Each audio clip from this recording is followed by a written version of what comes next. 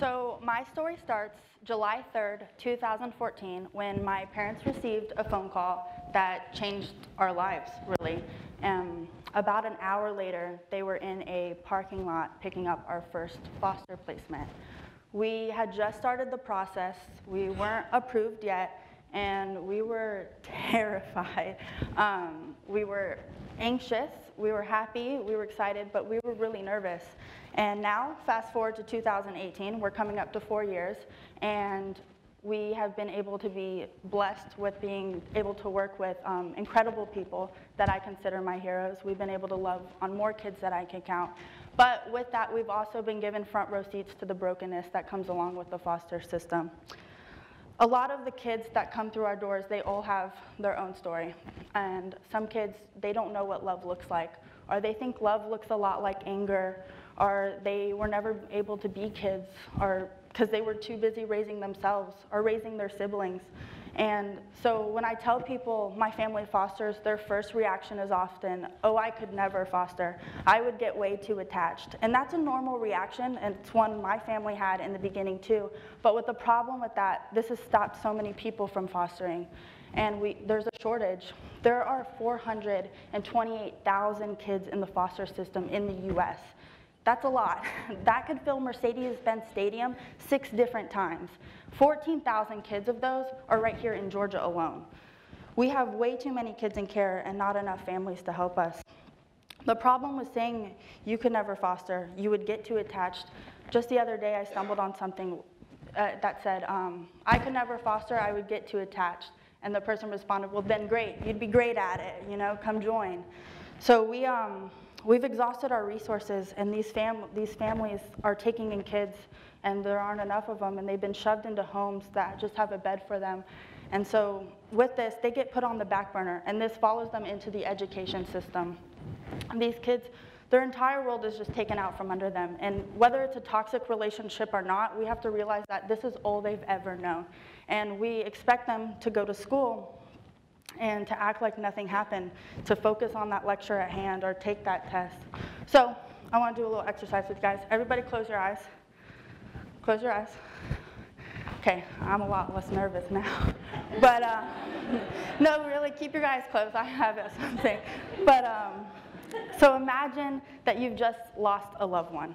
Think of someone really close to you, and you've just lost them, and it was so unexpected, and now people will acknowledge your grief. They'll send their cards, they'll send their phone calls. Your boss will take, tell you to take a couple days off work to regain yourself. And imagine that grieving process that you're going through. All right, you can open your eyes, but if you feel the need, you can keep them closed if you want. But um, these kids are going through the same thing. But how do you grieve when it's you yourself you've lost?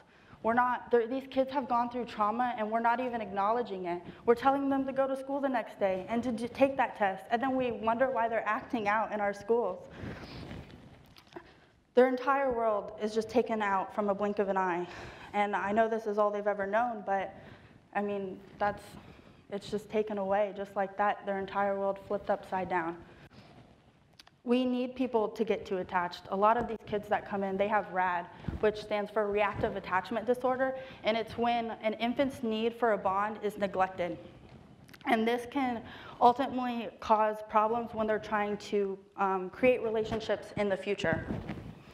So we have, we had these two girls that we fostered, and one of them was about um, 10 months old when we got her, 10 or 11, and um, one of the things was she was willing to go to like anybody who wanted to hold her, which at first sounds like great, but when you take that and you compare her to a healthy baby, a baby who knows a, a, the attachment, you realize that that's a problem because she didn't realize what that love felt like, what that attachment felt like. She couldn't tell, she couldn't tell if it was her mother holding her or not. And when you look at a normal baby or a healthy baby, they can. They can they know when it's their mother they're holding. They cry out for their mother or they cry out for their father. And she didn't have this. And another problem we ran into was she wouldn't cry when she woke up which again sounds like amazing, and that sounds like a great foster placement, like, oh, she slept in. But we later found out it was because she was being left in her crib for long periods of time, and that she had trained herself at such a young age to not cry because it didn't matter, because it didn't, she didn't think anybody was gonna come and get her anyway. And I got to see my parents pour themselves into this little girl, and after months and months and months of teaching her what real love looks like and what real attachment looked like, she was crying when she woke up, and you heard it too. She made it well known. But um, seeing that, sh- I was talking to my small group a couple weeks ago, and um, I was telling them, you know, I will be speaking at this TEDx event, and I'm going to get up on stage, and I'm going to ask people to foster. And when I said it, and we were talking, it just sounded ridiculous because what I was really going to be asking you guys was to sign up for Heartbreak. Fostering isn't easy, and I'm not going to sit up here and try to glorify it or try to paint a pretty picture because most of the time it is ugly and it is hard, and the, the goodbyes never get easier. But um, we need people to get that attachment. We, so we had these girls, and my parents raised her, and we had them for about two and a half years. And we got to see her take her first steps and say her first words. And then she never stopped talking at all. And um, then they had to leave. The mother worked her case plan. She did an incredible job, and um, they were going to go home. And that goodbye was hard. That goodbye was the hardest goodbye. And so when you foster, you are taking your heart and you're putting it out there knowing it's going to get broken, but doing it anyway.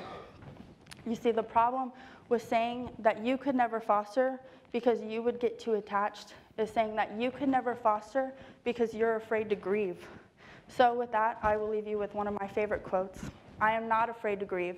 I'm afraid of what will happen to these kids if no one took the risk to love them. Thank you.